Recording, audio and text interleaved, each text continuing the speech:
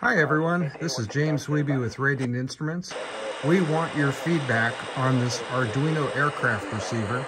Our email address is info at radiantinstruments.com. If you send us an email, I'll send you back a white paper that briefly explains how this uh, receiver board was designed.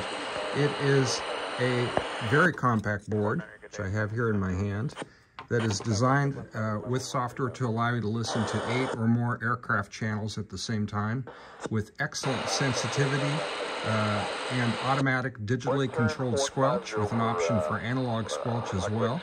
Uh, works great. I've had a super amount of fun listening to all of the aviation-related chatter around Wichita, Kansas.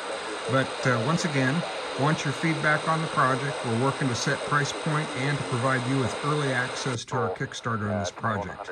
Send us an email, info at radiantinstruments.com. James out.